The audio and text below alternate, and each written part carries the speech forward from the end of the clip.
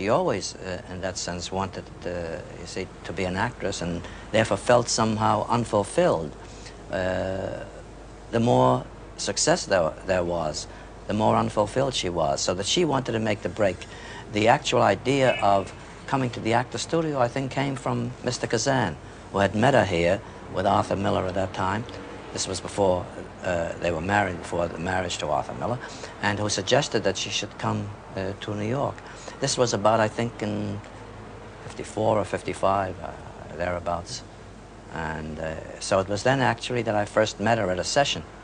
She was one of the two or three most sensitive and most talented people that I've seen in my life. One of the others is Marlon Brando, for instance. Uh, and to me, she had uh, the same kind of sensitivity. In the Actors Studio, she did a, a scene from uh, Eugene O'Neill, uh, Anna Christie, and it was wonderful.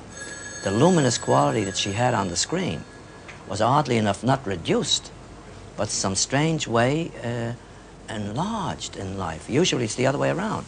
She wanted to do other kind of uh, roles, and the idea of doing uh, Grushenka and, and Dostoevsky uh, novel was not the kind of idiotic uh, idea that uh, some people interpreted it to be. But she was beginning to think more not so much of movies in that sense, not cutting out movies, but she was beginning to think of acting as a stage medium, hoping actually to be able to accomplish it. And then what would have happened with the movie things, I don't know.